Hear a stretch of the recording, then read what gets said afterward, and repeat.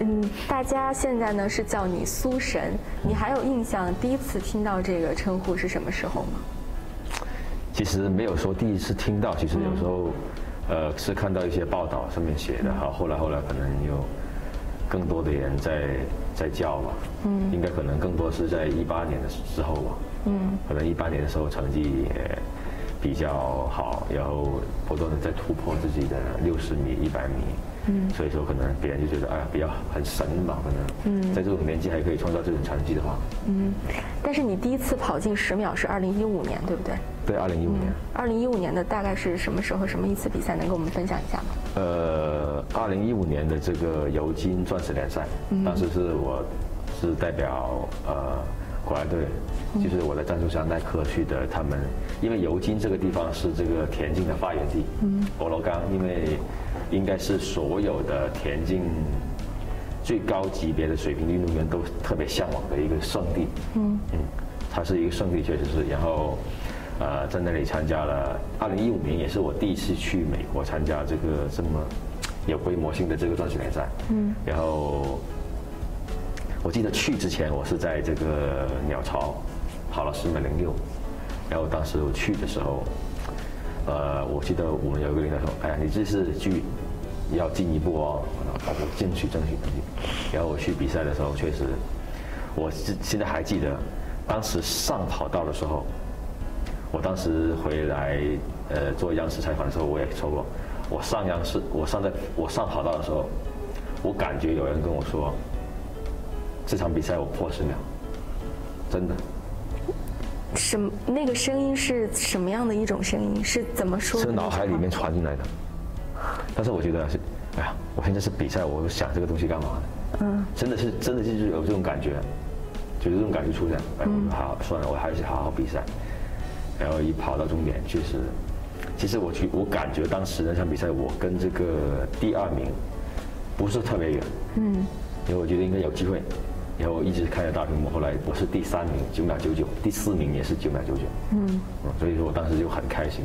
嗯，呃，成功的打破了十秒，也成为了这我们黄种人中国人第一个突破十秒的一个运动员。嗯，当时就是。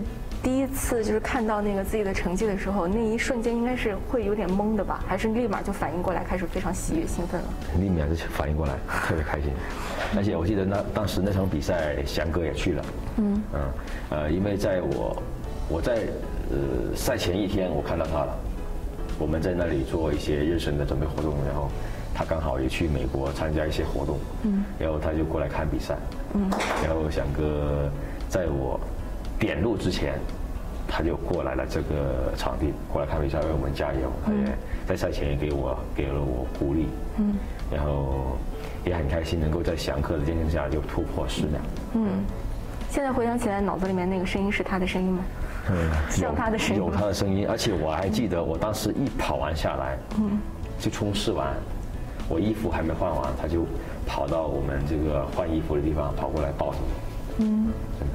因为翔哥确实也是我们中国田径的，呃，灵魂人物。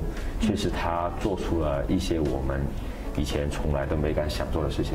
虽然说我跟他的项目不一样，但是他的精神肯定是影响到各种各种小项。嗯。其实你在很多的场合都谈起过他，然后包括心底里边对他的这种敬佩。对，我觉得可能未来其实真的也会有很多的年轻运动员，包括小将，在谈起你的时候也会是同样的这个情感。我觉得可能就是一种传承吧。嗯，因为我觉得翔哥真的是非常不容易。嗯，因为对他来说，他可能是年少就出名了，然后可能在这个成长过程当中就会显得更加的。张扬，因为他是属于那种比较张扬的运动员，但是他的成绩确实也非常好。